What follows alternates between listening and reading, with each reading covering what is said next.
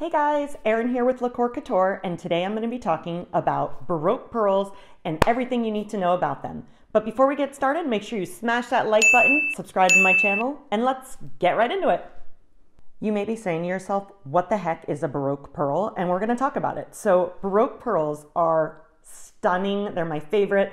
I've actually introduced them a lot into my 2022 collections, and I just so happen to be wearing Baroque pearls right now.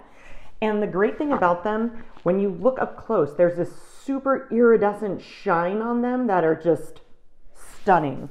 I mean, a Baroque pearl is honestly so timeless, gorgeous, and just matches everything, and you could wear for decades. As you know, pearls have been around for centuries and centuries. They're in beautiful crowns for queens and kings, and they have just been around forever. They're totally iconic, and they're really making a comeback in 2022. And I'm super pumped about it because my collection is going to be dripping in pearls, and especially Baroque pearls. What makes Baroque pearls super unique is that they actually have this like opal luster to them. They're not as flat and as creamy white as like a regular pearl. So I personally have always been really attracted to the Baroque pearls because they have that iridescent and they just kind of take it up a notch. I am personally in love. Also, regular pearls are typically going to be found in a round bead, like we all know.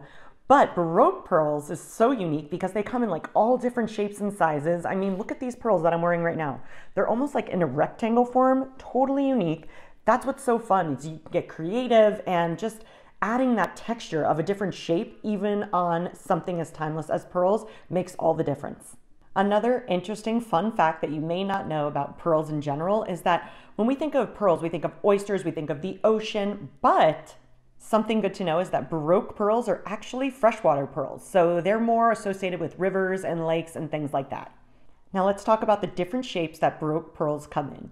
There are quite a few shapes and some of them have really fun names. So the first shape is the potato shape, which is like a chunky, thicker pearl. Super gorgeous, perfect for an earring, you know, to make a statement. Next up, we have the teardrop pearl, which is stunning and obvious. It's in the shape of a tear or like a pear. Baroque pearls also come in the shape of a coin, which are going to be like super flat and thin, and they kind of are like, they have like a wider spread, so they're a little bit larger and super fun and unique.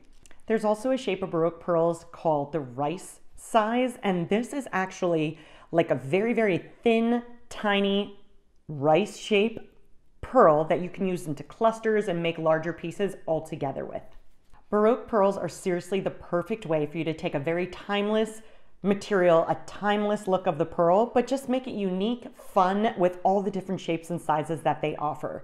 I am totally in love with Baroque pearls and I can't wait for you all to see what I have in store for them for 2022. And if you want to check out my jewelry and other videos, make sure you check out the links in the descriptions below. And if you want to keep learning about all things LaCkore Couture, jewelry, fashion, fun, make sure to check out one of my videos above me and I'll see you in the next one. Bye guys!